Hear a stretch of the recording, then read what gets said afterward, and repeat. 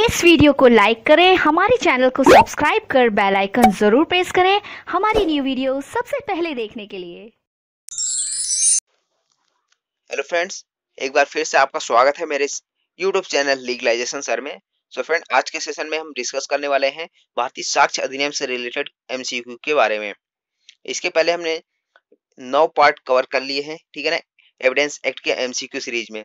और ये हमारा दसवां पार्ट है। यदि आपने नहीं देखा, इसके पहले का पार्ट तो ऊपर आई बटन पर क्लिक करके देख सकते हैं, या फिर नीचे डिस्क्रिप्शन बॉक्स पे प्लेलिस्ट की लिंक प्रोवाइड कर दूँगा, वहाँ पे आप जाके देख सकते हैं सारे एमसीक्यू पार्ट को। तो चलिए स्टार्ट करते हैं आज का सेशन तो सबसे पहले जो हमारा फ़र्स्ट क्वेश्चन है, वो क्या कहता है? लोक दस्तावेज़ के लिए क्या द्वितीयक साक्ष्य दिया जा सकता है? अर्थात जो पब्लिक डॉक्यूमेंट्स होते हैं, उसके लिए जो सेकेंडरी एविडेंस क्या दिया जा सकता है?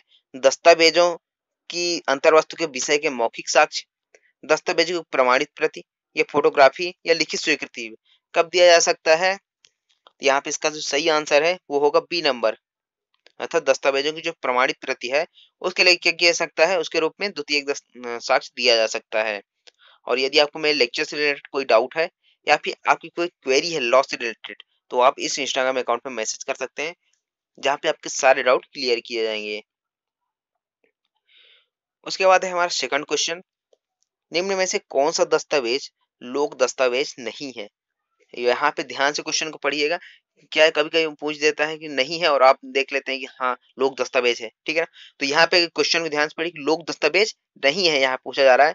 और यहाँ पे जो ऑप्शन है, सक्षम अधिकारी द्वारा वस्तुओं की कीमत निर्धारण आदेश, यहाँ पे कीमत होगा।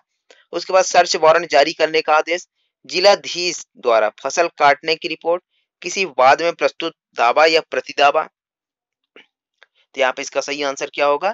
यहाँ पे आपका जो सही आंसर है, वो होगा डी नंबर अर्थात किसी बाद में प्रस्तुत दावा या प्रति दावा जो है, वो पब्लिक डॉक्यूमेंट्स नहीं है. अदरवाइज़ जो है जो तीन ऑप्शन बताए गए हैं, वो क्या है? पब्लिक डॉक्यूमेंट्स हैं. बढ़ते हैं नेक्स्ट क्वेश्चन की ओर.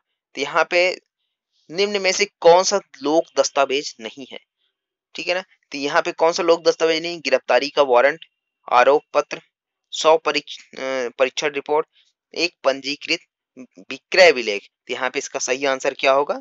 इसका सही आंसर होगा सी नंबर। अर्थात जो सौ परीक्षण रिपोर्ट है, वो लोक दस्तावेज़ नहीं है। किसी पर्टिकुलर एक पर्सन का होता है, ठीक है ना? रिपोर्ट होती है पोस्टमार्टम रिपोर्ट होती है तो वो पब्लिक डॉक्यूमेंट्स नहीं है। उसके बाद है फोर्थ क्वेश्चन है यदि आपको किसी भी क्वेश्चन का आंसर पता है तो प्लीज़ कमेंट बॉक्स में कमेंट करके ज़रूर बताइएगा। प्रमाणित प्रतियों के असली होने की उपधारणा का उपबंध किस धारा में प्रावधानित है? धारा अठहत्तर, धारा उन्यासी, धारा अस्सी या धारा बयासी में तो यहाँ पे इसका सही आंसर क्या होगा? यहाँ पे इसका सही आंसर होगा बीना यानी धारा उन्यासी में प्रमाणित प्रतियों के असली होने के उपधारणा का उपबंध कहाँ पे बताया गया है? सेक्शन 79 ऑफ़ एविडेंस एक्ट में। उसके बाद है फिफ्थ क्वेश्चन तार संदेशों के बारे में, अर्थात जो तार के द्वारा संदेश भेजे जाते थे, उसके बारे में उपधारणा संबंधी प्रावधान साक्ष्य अधिनियम के किस धारा में बताया गया है? धारा तिरासी में, धारा पचासी, धारा सतासी या धारा अठासी में? तो यहाँ पे इसका सही आंसर क्या होगा? यहाँ पे इसका जो सही आंसर है, वो होगा डी नंबर। धारा अट्ठासी में क्या बताया गया है तार संदेशों के बारे में उपधारणा से संबंधित। उसके बाद है सिक्स क्वेश्चन कोई तीस वर्ष पुराना दस्तावेज़ जो उचित अभिरक्षा से प्रस्तुत हुआ हो, वह सम्यक निष्पादन, तथ्यात्मक उपधारणा है, खंडनीय वैधानिक उपधारणा है या अखंडनी वैधानिक उपधारणा है, या उपरोक्त में से सभी। यहाँ पे इसका सही आंसर क्या होगा? यहाँ पे आपका जो सही आंसर है, वो होगा ए नंबर का। अर्थात तथ्यात्मक उपधारणा है, कोई तीस वर्ष पुराना दस्तावेज़ प्रस्तुत किया गया है, उचित अभिरक्षा से निष्पादन के लिए, ठीक है ना? तो क्या होगा? वो तथ्यात्मक उपधारणा है। यहाँ पे सही आंसर होगा ए नंबर। उसके बाद है सेवंथ क्वेश्चन। कोई दस्तावेज़ जो पुराना है, उसका सही होना न्यायालय उपधारित करेगा। कब करेगा? जब वह पाँच वर्ष पुराना हो डॉक्यूमेंट्स, या दस वर्ष पुराना हो, बीस वर्ष पुराना हो, या तीस वर्ष पुराना हो। तो जस्ट इसके पहले हमने देखा था वह तीस वर्ष पुराना की बात की गई थी। तो यहाँ पे इसका सही आंसर क्या होगा? तीस वर्ष पुराना हो या था डी नंबर का ऑप्शन यहाँ पे सही है। उसके बाद है, किसी दस्तावेज़ को स्वयं सिद्ध होने के लिए कितनी अवधि पूर्व निष्पादित होना चाहिए? दस वर्ष, बीस वर्ष, तीस वर्ष, पैंतीस वर्ष? तो यहाँ पे इसका सही आंसर क्या होगा? यहाँ पे इसका जो सही आंसर है, वो होगा तीस वर्ष। उसके बाद है, हमारा नाइन्थ क्वेश्चन। यह सूत्र कौन सा सूत्र? कि लिखित दस्तावेजों को लिखित द्वारा ही साबित किया जाना चाहिए। यह किस धारा में दिया गया है? धारा सतासी, धारा इक्यानवे, धारा अंठानवे या धारा एक सौ इक्कीस? तो यहाँ पे इसका सही आंसर क्या होगा? इसका सही आंसर होगा बी नंबर तो धारा इक्यानवे में। उसके बाद है टेंथ क्वेश्चन। साक्ष्य अधिनियम की धारा बानवे लागू होती है। यानी कि जो सेक्शन 92 ऑफ़ एविडेंस एक्ट है, वो लागू कहाँ होती है? द्विपक्षीय दस्तावेज़ में। एक पक्षी दस्तावेज़ में, या ए और बी दोनों में, या ना तो ए में, या तो ए में, या तो बी में। यहाँ पे इसका सही आंसर क्या होगा? ए नंबर द्विपक्षीय दस्तावेज़ में धारा बानवे लागू होती है।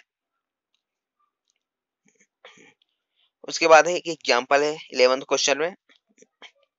ख को का एक हज़ार रुपयों या पंद्रह सौ रुपयों में एक घोड़ा बेचने का लिखित करार करता है।